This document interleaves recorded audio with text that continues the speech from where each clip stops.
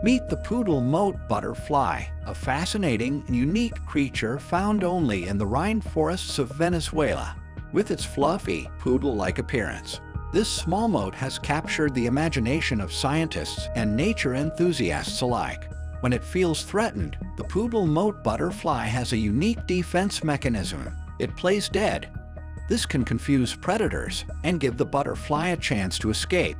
At night, it can often be seen fluttering around light sources like other moths. Despite its fascinating appearance and behavior, much about the poodle moth butterfly remains a mystery to science. But researchers continue to study and learn more about this curious creature.